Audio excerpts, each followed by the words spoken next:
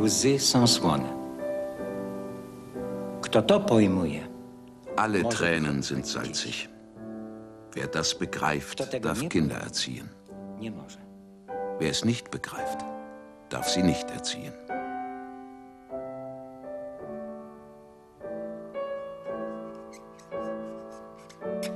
Dies ist eines der denkwürdigsten und dunkelsten Kapitel der deutschen Geschichte.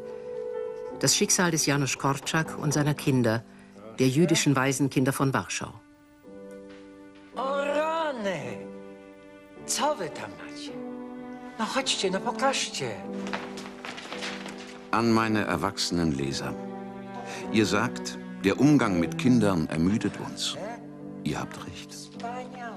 Ihr sagt denn, wir müssen in ihre Gedankenwelt hinabsteigen. Hinabsteigen, uns neigen, bücken und kleiner machen. Ihr irrt euch. Nicht das ermüdet uns, sondern dass wir zu ihren Gefühlen hinaufsteigen müssen. Hinaufsteigen, uns auf die Zehenspitzen stellen und behutsam anfassen, um nicht zu verletzen.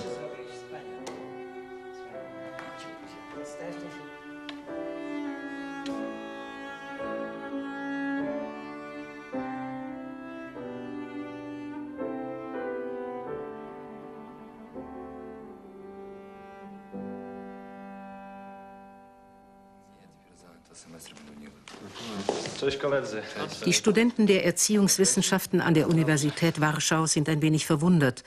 Janusz Korczak, der berühmte Arzt und Schriftsteller, hat sie an einen sonderbaren Ort bestellt, in den Röntgenraum eines Kinderkrankenhauses. Er führt ein Kind vor den Röntgenschirm und wendet sich dann an seine Zuhörer. Wer Kinder verstehen will, sagt er, muss sich zunächst selbst verstehen, muss sich erinnern an die eigene Kindheit. Dann gibt er den Studenten eine ungewöhnliche Demonstration.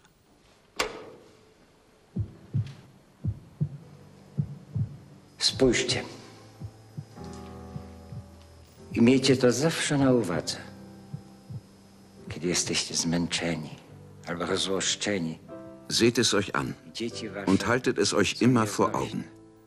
Immer wenn ihr erschöpft oder erzürnt seid, wenn die Kinder unausstehlich sind und euch aus der Ruhe bringen, wenn ihr schreit, wenn ihr im Zorn strafen wollt, haltet euch dann vor Augen, dass das Herz eines Kindes so aussieht und so reagiert. że serce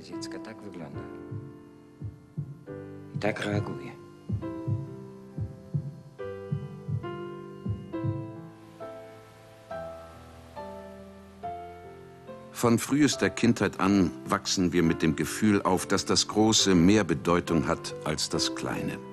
Alles spielt sich irgendwie hoch über uns ab.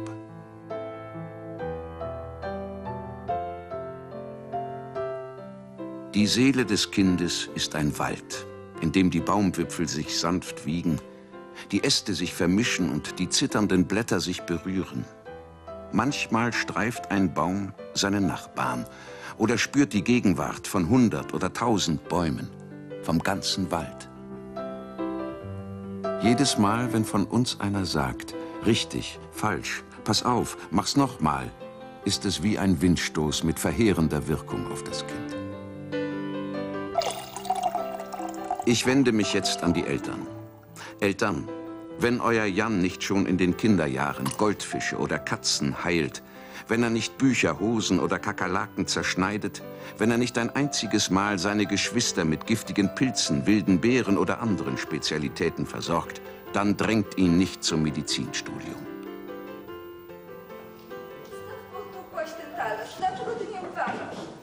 Wenn euer Watzek seinen Pudel, das Dienstmädchen oder sein Schwesterchen, das etwas angestellt hat, nicht vor Strafe schützt, wenn er es nicht zu Wege bringt, sie zu trösten und aufzumuntern, dann erlaubt ihm nicht, Anwalt zu werden. Umso weniger, wenn er ein Wahrheitsfanatiker ist. Wenn ihr anders handelt, beschwört ihr auf euch und eure Nachkommen nur Unglück herauf.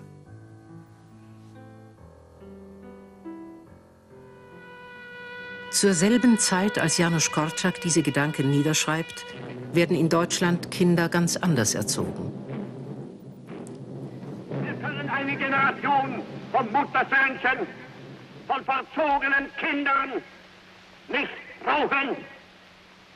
Was wir benötigen, das sind Knaben und Mädchen, die später einmal starke Männer und tapfere Frauen sein können. Ihr sollt nicht mit vergrämten Gesichtern herumgehen, sondern ihr sollt noch lachend in die Welt hineinblicken. Und ihr habt Grund dazu, denn diese Welt, eure Welt, unser Volk, unser Reich, sie sind schöner geworden, als sie je zuvor waren. Diese Erziehung hat nur ein Ziel, jeden eigenen Gedanken und jedes Gefühl auszumerzen.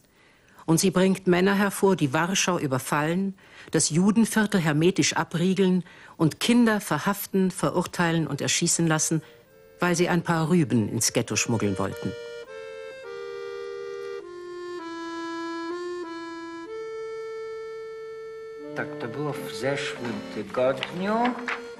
Noch kann Janusz Korczak seine Kinder vor dem Terror schützen. Im Waisenhaus herrschen Ruhe und Frieden, berichten Besucher. Und die Verpflegung sei für Ghettoverhältnisse geradezu luxuriös. Noch immer tagen das Kameradschaftsgericht und das Kinderparlament. Und noch immer wettet Korczak mit seinen Kindern, wer es schafft, nur noch einmal im Monat zu fluchen, zu lügen oder zu raufen. Oder nur einmal in der Woche. Oder wenigstens einmal am Tag. Raz w tygodniu. Nie, raz w miesiącu. No nie dasz rady. Doch Janusz Korczak weiß, dass nicht mehr viel Zeit bleibt. Dass er seine Kinder ablenken, beruhigen und belügen muss. Während das Schiff untergeht, ordnet der Kapitän an, dass das Orchester Jazz spielt, weil er die Passagiere bei Laune halten möchte. Ich habe mich entschlossen, diesem Kapitän nachzueifern. Ich möchte gern bei Bewusstsein und bei voller Besinnung sterben. Was ich den Kindern zum Abschied sagen werde, weiß ich nicht. Też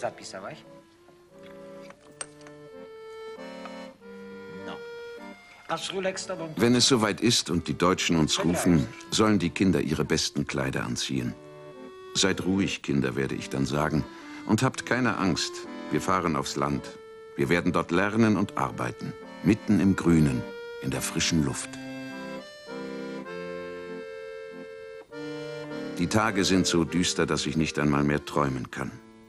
Ich sah einen Jungen auf dem Gehsteig liegen, vielleicht lebend, vielleicht tot. Es kümmerte keinen.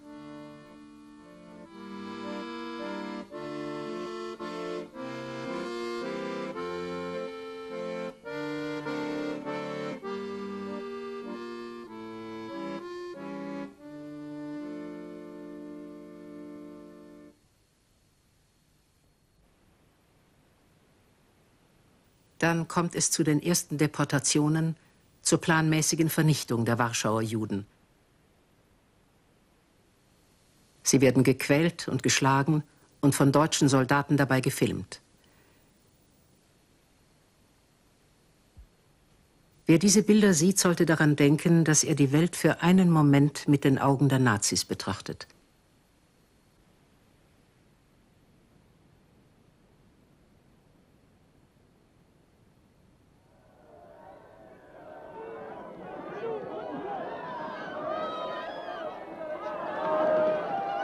5. August 1942 wird das jüdische Waisenhaus geräumt. 200 Kinder marschieren in Reihe und Glied zum Bahnhof. Die Steine weinten, als sie die kleine Prozession sahen, schrieb später ein Augenzeuge. Der Bahnhofskommandant hatte ein Buch von Korczak gelesen und bot ihm an, hier zu bleiben. Die Kinder fahren natürlich, meinte er, aber sie können nach Hause gehen. Sie irren sich, erwiderte Korczak. Nicht jeder ist ein Schuft. Und er stieg freiwillig in den Eisenbahnwaggon nach Treblinka. Niemand weiß, ob Korczak noch Zeit fand, sich von seinen Kindern zu verabschieden. Er, der für seine Jugendlichen beim Abschied vom Waisenhaus immer so tröstliche Worte gefunden hatte. Wir nehmen Abschied von euch. Für eine lange, weite Reise. Diese Reise hat einen Namen. Das Leben. Viele Male haben wir darüber nachgedacht, was wir euch auf den Weg geben sollten. Leider sind Worte arm. und schwach. Wir geben euch nichts. Wir geben euch keinen Gott, denn ihr müsst ihn selber suchen. In der eigenen Seele. Wir geben euch kein Vaterland, denn ihr müsst es durch eigene Anstrengung des Herzens und durch Nachdenken finden. Wir geben euch keine Menschenliebe, denn es gibt keine Liebe ohne Vergebung. Und vergeben ist schwer, mühselig, eine Last, die jeder selbst auf sich nehmen muss. Wir geben euch eines, die Sehnsucht nach einem besseren Leben, das es nicht gibt, aber das es doch einmal geben wird. Ein Leben in Gerechtigkeit und Wahrheit. Vielleicht wird diese Sehnsucht euch zu Gott, zum Vaterland, zu Liebe führen. Lebt wohl. Vergesst es nicht.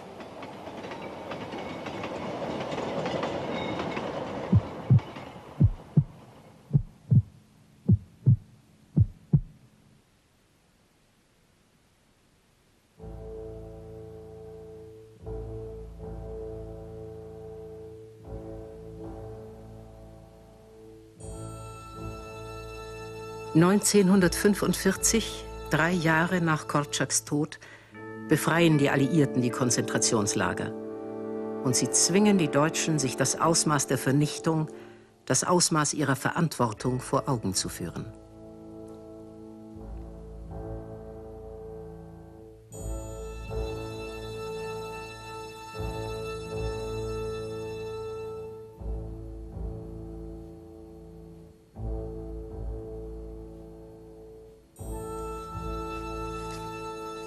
Ich wünsche niemandem etwas Böses.